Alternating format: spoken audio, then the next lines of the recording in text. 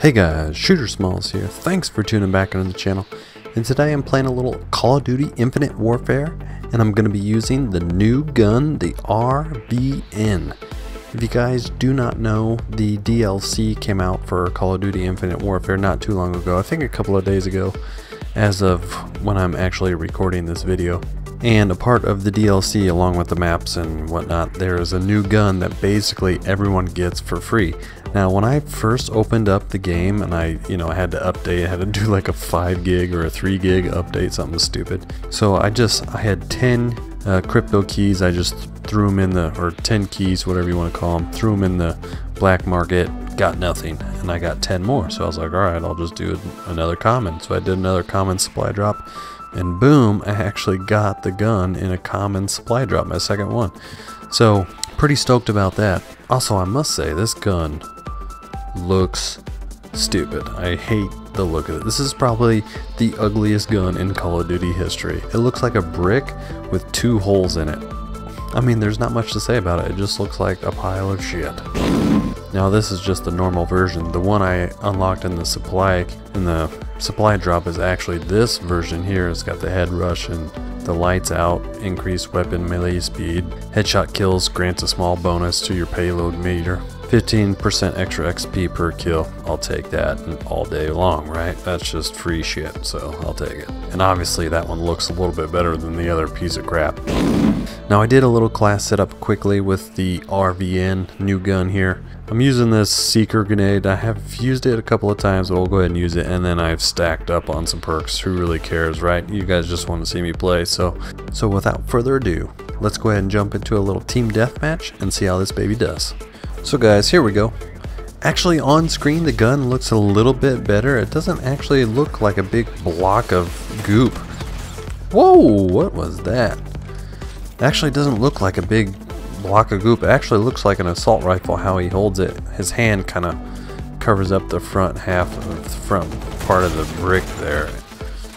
I don't know why, but it kind of reminds me of the Man-O-War from Black Ops 3. Just the on-screen look of it. It kind of looks like an assault rifle, so when you're in the setup menu it looks like a ugly brick, and then when you're actually using the gun it actually looks, uh, you know, quite nice, really.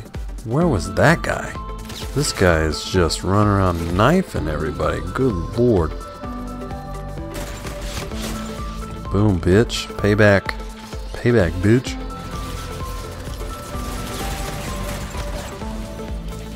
Ooh, buddy. Got one. Dude, this combat knife guy is really going to start pissing me off. This two round burst is a little bit kind of freaky because it's just two, boom, boom, you know? It's not three. Normally you're like three or four anymore. So far, not too shabby. I don't overly mind it. I kind of like that you can hold down the trigger, which is kind of nice, but it's so stupid. All he does is run around with a goddamn combat knife. I can't kill him. I definitely need to get like quick draw and some other attachments on it to see how actually good, to see its full potential. I'm actually getting my butt just straight freaking reamed right now. Dude, guys, I'm just getting wrecked.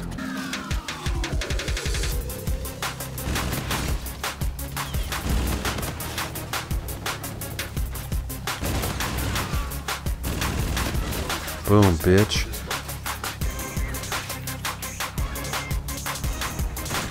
Boom, baby. Boom, baby. That's how we do it. Get it going. Get it going.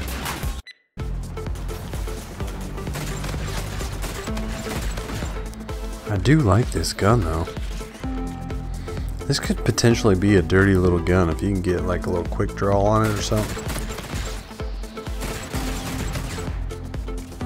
Maybe even a silencer. It sits down pretty nice when you're like aiming long range it kind of sits doesn't bounce around so the I kind of like it long range it's not too bad it is a two round burst gun and it auto cycles through it so all I gotta do is hold down the trigger so it's not too bad it's a little different it's basically a two shot kill so a two, two burst kill so it's basically just like any other burst gun that you would use it's not I don't find it super overpowered, nor do I find it super weak. So it's a good gun all around.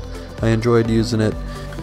But in any case, that is the new assault rifle in Call of Duty Infinite Warfare. It's the RVN. So if you guys haven't already, I would suggest, or I would say it is worth it to jump on Infinite Warfare if you haven't been playing it in a while. Give this gun a shot, try to unlock it, give it a shot, see if you like it, and maybe it will kind of get your juices flowing a little bit more about Call of Duty Infinite Warfare. So guys, that's it for this video. Thank you so much for watching. If you enjoyed the video, give it a thumbs up. Be sure to subscribe, and I'll see you guys in the next video.